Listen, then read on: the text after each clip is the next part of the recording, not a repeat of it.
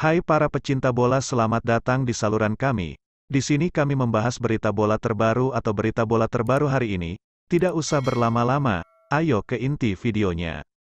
Seperti yang kita ketahui, Timnas Indonesia saat ini sedang memperkuat kedalaman skuad untuk menghadapi babak kualifikasi Piala Dunia 2026 putaran ketiga, dan kabarnya PSSI saat ini sedang membidik dua pemain naturalisasi yakni Ula Romeni dan Kevin Dix. Namun menariknya bukan hanya Romeni dan Kevin Dix. Kabarnya PSSI juga mengincar beberapa pemain lain demi membuat skuad Timnas Indonesia lebih kuat lagi. Begini kata pengamat sepak bola Roni Pangemanan dalam akun YouTube-nya, mungkin akan ada. Beberapa nama-nama lain selain Kevin Dix dan Ula Romeni, ia bisa dibilang akan ada tiga bahkan empat pemain lagi. Kata Roni Pangemanan, sementara untuk saat ini hanya Kevin Dix dan Ula Romeni dulu.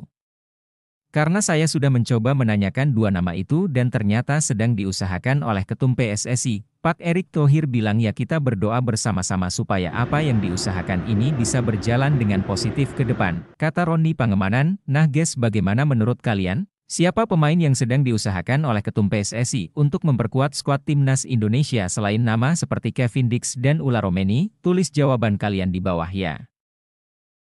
Pelatih Sintayong baru-baru ini membuat sebuah pernyataan yang cukup mengejutkan penggemar timnas Indonesia, yang dapat kita anggap sebagai peringatan keras untuk pemain dan penggemar timnas Indonesia, ya sebelumnya kita sudah tahu bahwa Garuda Indonesia berhasil ke babak kualifikasi Piala Dunia 2026 putaran ketiga. Namun perjuangan anak asuh Sintayong belum berakhir, masih ada beberapa tantangan untuk Garuda Indonesia jika ingin tampil di Piala Dunia 2026, ya kita semua tahu bahwa banyak Penggemar timnas Indonesia yang ingin melihat Sintayong membawa timnas Indonesia ke Piala Dunia 2026, namun sayangnya pelatih Sintayong tidak mau menjadi seperti orang bodoh sampai mimpi di siang bolong.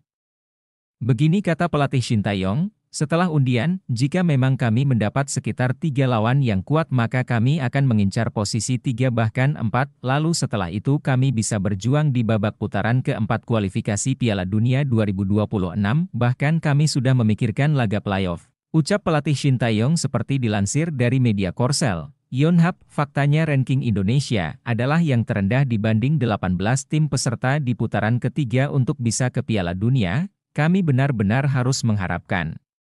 Keberuntungan, kata pelatih Shintayong, jadi dapat kita simpulkan dengan perkataan Shintayong yang mengatakan bahwa dirinya mengharapkan keberuntungan, jadi maksudnya pelatih Shintayong tidak ingin mimpi di siang bolong dan tidak ingin terlalu percaya diri dapat membawa timnas Indonesia ke Piala Dunia 2026 dengan mudah. Perlu perjuangan keras, bagaimana menurut kalian? Tulis komentar kalian di bawah ya. Baiklah, itu saja pembahasan kita kali ini. Bagi kalian yang nggak mau ketinggalan berita bola terbaru dari kami, silahkan klik tombol subscribe dan loncengnya. Dan terima kasih telah menonton, sampai jumpa guys.